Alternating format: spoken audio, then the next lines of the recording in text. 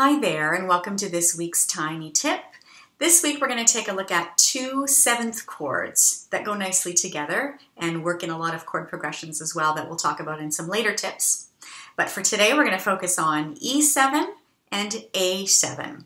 All right, so let's get our ukuleles in place. Now let's start with the tougher one of the two, which is E7. Now to play E7, you're going to take your ring finger, your third finger, you're going to put it on the first string, second fret. Then we're going to jump up one. We're going to use your middle finger on the third string, second fret.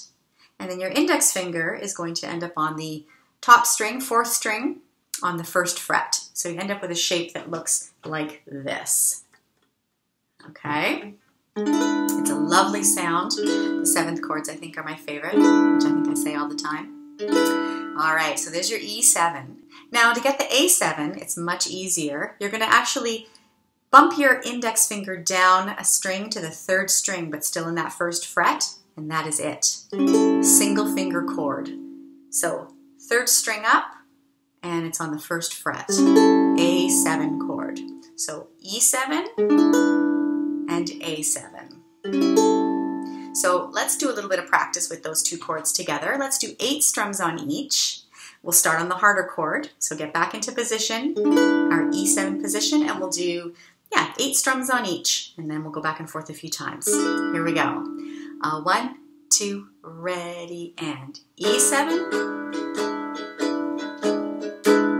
A7, and back to E7, and A7. One more time.